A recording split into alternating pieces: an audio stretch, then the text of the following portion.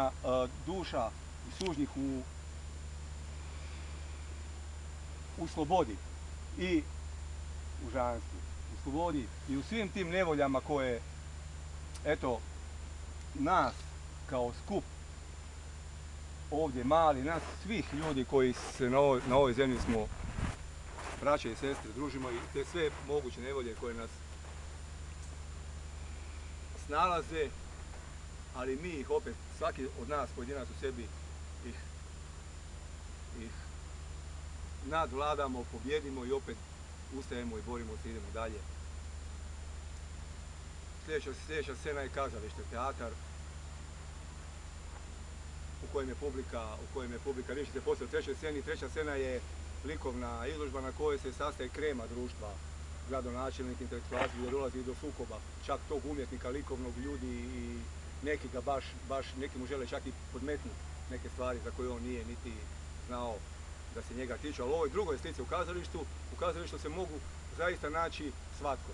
Od najobičnijeg radnika do, do, do vrhunskog profesora, vrhunskog obrazovanih ljudi, do doktora nauka u publici i gledati na jednu, na jednu te istu scenu predstavu, ne? U kojoj se pojavljuje u ovom slučaju song Marlene, mi ćemo sada kroz, jer on se pojavljivao prije i u filmskim, i u filmskim, tako, to je jedan song, ali mislim, samo, samo da vam kažem, ja, ja pokušavam u ovom, u ovom, na ovoj otvorenoj sceni, u ovom off teatru, u ovom, u ovom, u ovom, u ovoj našoj naprednoj, naprednim razmišljanjima dovesti teatar na ravan, na ravan, na ravan koncepcije, koncepcije udruživanja udruživanja. Jer to je ono, ono, to je ono recimo kada se bavimo performingom. Da li nas u stvari performing vraća nazad u kazališni tabor? Performing da nas vraća nazad u ono što kazalište je. Jest.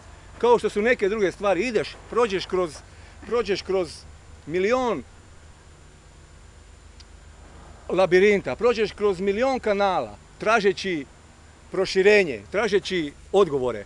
A u stvari ponekad shvatiš da te svi ti eksperimenti vraćaju izvornome. Tako možda je performing, naše učenje performinga, možda nas zaista vraća antičkome, klasičnome, čvrstome izričaju. Ne?